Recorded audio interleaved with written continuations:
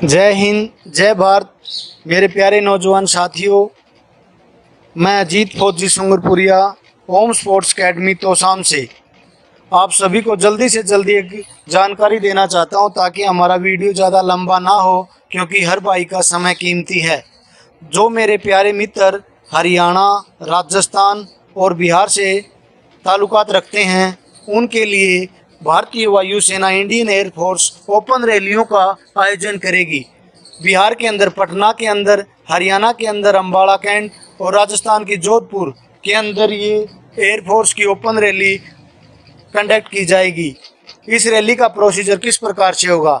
17 जनवरी 2000 से 30 दिसंबर 2003 के बीच जिन भी छात्रों का जन्म हुआ है और जिन्होंने मैथ, फिजिक्स व इंग्लिश के साथ बारहवीं पास की हुई है बारहवीं में इंग्लिश में कम से कम पचास अंक अनिवार्य हैं। और आपको ऑनलाइन रजिस्ट्रेशन करना अनिवार्य है। मैं आपको आगे बताऊँगा रजिस्ट्रेशन कैसे करना है। उससे पहले आपको बता दें, कोविड नाइन्टीन को ध्यान में रखते हुए ये कट ऑफ़ के आधार पर भर्ती आयोजित की जाएगी। इसमें शॉर्ट लिस्ट लगेगी। जिन कैंडिडेटों के परसेंटेज ज़्यादा होगा, उनको फ़िज़िकल के और टेस्ट के लिए बुलाया जाएगा। और उसके लिए हर दिन 125 175 इस प्रकार से अभी सभी स्टेटों में अलग अलग रूल के हिसाब से उनको बुलाया जाएगा। कट ऑफ़ रिलीज़ होने के बाद सबसे पहले फ़िज़िकल, लिखित परीक्षा और एडिबिलिटी, जो भी टेस्ट है, वो उम्मीदवारों का अंतिम चयन होगा। अब आपको मैं बताता हूँ रजिस्ट्रेशन कैसे करना है।